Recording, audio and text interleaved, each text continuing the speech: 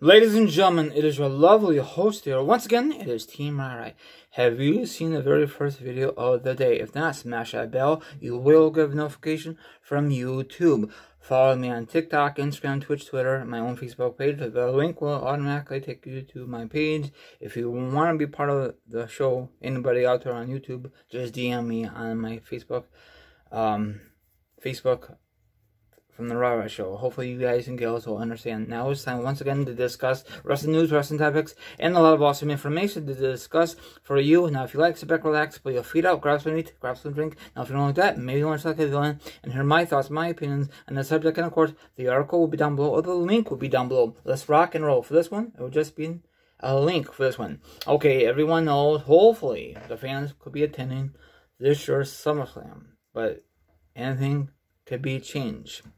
Okay, WWE has talked about holding this year's SummerSlam in Phoenix, Arizona, or somewhere else in Texas.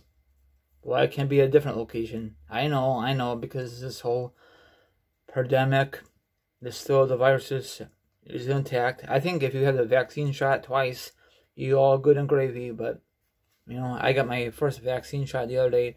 The only thing affect me, sore arm and a major headache. But overall, I'm good.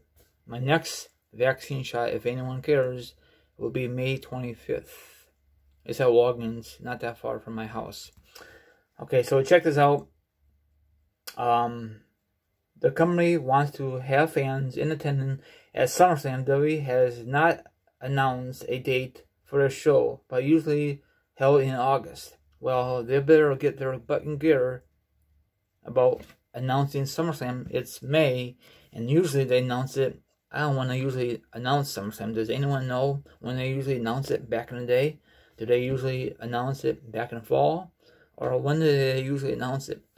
If W was smart, they're not smart.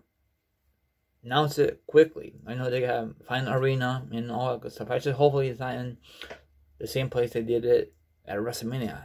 Well, that's a big arena. So it in Phoenix, okay? One last thing in Phoenix held SummerSlam. I think it's been a while. Texas is gonna hold WrestleMania next year, so I think they should be out of the question. Why not Charlotte, North Carolina, home of Ric Flair? You know, home of uh, the Charlotte Hornets. Have that stadium. Something different for crying loud.